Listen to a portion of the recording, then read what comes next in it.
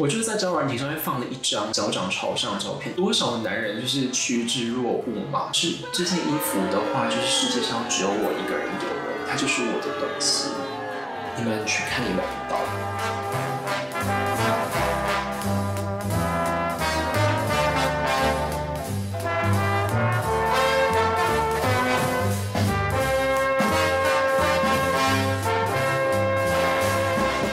大家好，欢迎收看花生坐席 Peanut Gallery，我是 Milk。大家好久不见，今天又是我独挑大梁主持节目了。对，那今天我想跟大家分享说，到底我来法国的这两个月来买了多少东西。大家对巴黎或者对法国一定会有一个印象，就是这边是购物天堂，很多精品就是源自于这个国家。但是我觉得大家如果要买东西的话，还是要做好功课，像你一定要找好店，甚至有些精品都要预约。我觉得人都来到法国，怎么不可能都买一些。我不想这样讲，但是他们对我来说已经是烂大街的品牌了，所以我今天提到的品牌里面都会比较偏向小众或者是法国当地的品牌，有精品，有化妆品。然后甚至也有古着的东西，那如果你有兴趣的话，继续看下去吧。相信大家应该都知道 Rihanna 上 Super Bowl 吧？我之前跟我们的主持人 Way 呢也有谈论过欧美明星的副业论，希望大家有兴趣的话可以去看一下。然后 Rihanna 这个女人很做作，在表演途中，哎，突然停下来，然后拿起一个粉盒帮自己补妆，难道是在帮自己的商品打广告吗？结果真的是。欧美的娱乐新闻都来说，这个粉饼在美国都已经要断货了，那我肯定也是要买一下吧。我就是跟风。它的粉质的话是偏紫色的，也蛮细腻，补在眼下的话会有一种抚平纹理的感觉。那我也才刚买到这个粉饼没多久，而且法国这边的天气又特别的干，所以我没有办法跟大家说这到底控不控油。这个粉饼有一个非常大的缺点，就是它的粉扑非常的薄，中间也只有给一个塑胶隔板，就是我到现在还在纠结说到底要不要把这个隔板丢掉。因为如果我把这个隔板丢掉的话，我的粉扑就直接碰到我的粉饼，那就会污染这个粉饼。我想说这样很脏。大家如果真的有喜欢 Rihanna 的话，再去买啊。如果没有的话，其实我觉得没有必要一定要买这个粉饼，外面的选择那么多。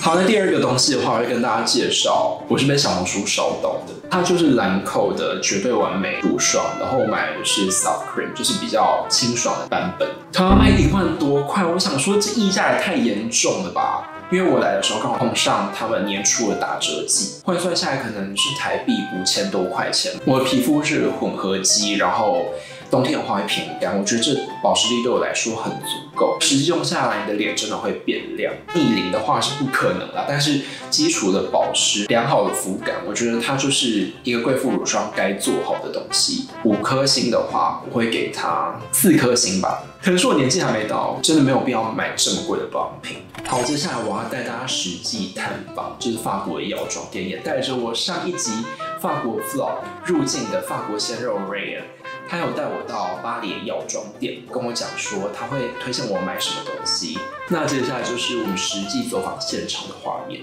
Rayan recommended this makeup remover from SVR Cosmetic. It's 12.99 euro. So everyone trusts this French little thing.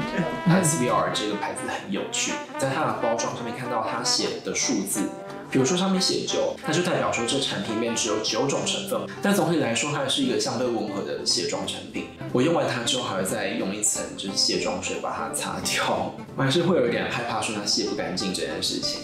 然后之前我在 pharmacy 就看到这个组合，有一个精华，然后再一个小样的乳液，才二十六欧。因为我那个时候带来的玻尿酸精华液用完了，我想说死马当活马医，就试试看这边的品牌。结果那罐精华真的让我惊艳到哎！我的用法都是把维他命 C 的粉末加在那罐精华里面，然后早上这样擦。我觉得这样擦了大概三个礼拜下来，我的皮肤真的有变白。The creator is really into natural thing. You can just put it a little bit on the cream, mix it on or on the serum. Okay. Mix it and just put it. It's 26. It can be kind of expensive, but it lasts at least like five, six A months. little bit lasts a long, long way. Yeah, it lasts really long. So I'll take this one too.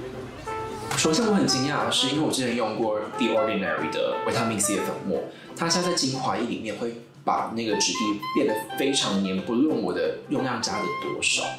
但是这一罐完全不会，而且不会跟你后面的底妆打架。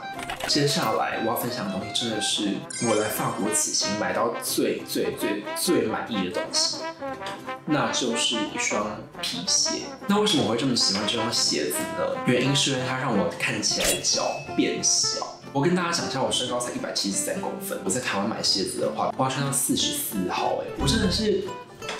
讲到这边，我觉得快要流泪，你知道吗？这真是我切身之痛。我真的经常被嘲笑，哎，甚至我爸也会笑。我还记得高中的时候，有一段时间很流行老爹鞋，然后那个时候我拿完我的压岁钱之后，就跑去买了一双，嗯，可能是 New Balance 的老爹鞋吧。我很开心穿回家，然后给我爸看。我爸上下打量我之后，他就问我一句话，他就说：“你知道你自己的脚很大吗？”哦，我知道啊。那你为什么要套两艘帆船在自己脚上？我真的是。Pina Gallery 的主人位也经常笑我是大脚婆，大卡伯占西格，被封建遗毒影响，你知道吗？我脚大，我天足怎么样？我天足啊！我被导到，我觉得大脚是身体缺陷，你知道吗？亚洲同性恋长了一双 NBA 球员的脚，我也不是，这不是我的控制，是基因啊！而且我跟大家讲一下，我就是 PO 了一张，我会把照片放在这边，我就是在交软体上面放了一张脚掌朝上的照片。多少男人就是趋之若鹜嘛，大脚婆也有春天。绕了这么大一圈，我想要跟大家介绍一下我买这个鞋子的牌子，它叫做 Para Boots。我当初会知道这个牌子也，是因为我可以把它去就是放在下面给大家看。他们专门在进口 Para Boots 的鞋子，然后大家看到这个鞋型，我就非常非常的喜欢。盒子我觉得是蛮有质感的，毕竟它这么贵。对，然后这双鞋子的话，我是买到它的限量版，大家可以看到这边。还有一个小小放的国旗，超级无敌可爱。它的鞋舌设计也比较短，那我觉得它鞋舌设计短之后，会让你的脚的长度看起来视觉上会缩小。那有穿过马丁鞋的人，你会知道说前面的那一两个礼拜真的是折磨人到死，你的脚踝真的会被刮到不行。那这双鞋的话也是一样，我当初买的价钱是四百三十欧，对，一万多块台币。但是我觉得穿下来，我真的觉得非常值得。台湾那家代购 Para Boots 的店，我觉得它的价钱跟法国买没有差多少，所以我觉得大家可以放心入，真的可以去试穿一下。我真的觉得这是我这辈子买过最棒的皮鞋，我真的最喜欢。其实在欧洲，大家比较常去逛 thrift store，台湾所说的古着店。因为我不是一个很有耐心的人，到处去逛好多古着店，我很累。啊，我跟 Ryan 吃完晚餐的时候，我们就在巴黎路上随便逛。然后就突然看到一间，就整个装潢非常的漂亮，而且店面又非常宽敞的一家古着店叫芭比。我就突然看到一件外套，它有那种非常夸张的披风，设计是非常繁复，但是你穿在身上又不会觉得太过厚重的感觉。我真的觉得拿大 S 的话来讲，这件衣服真的是为我而生，它上面有写我的名字，我真的是觉得我淘到宝了。但是不好意思各位，这件事这件衣服的话，就是世界上只有我一个人有，就是我的东西。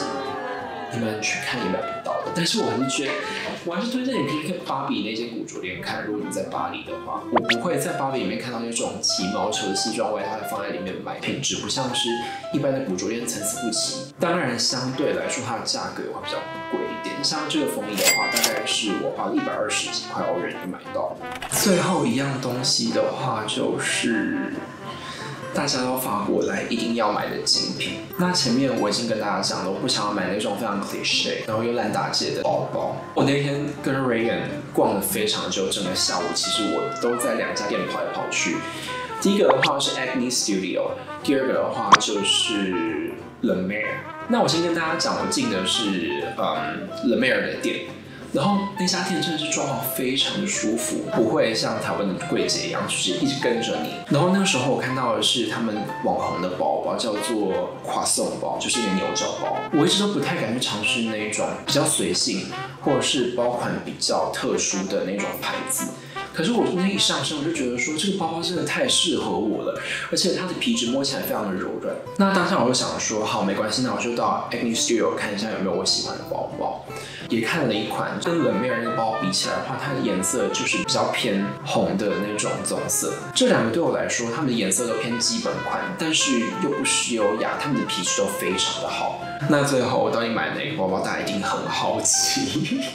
大家看影片就知道，大家看 VCR。I've made my decision.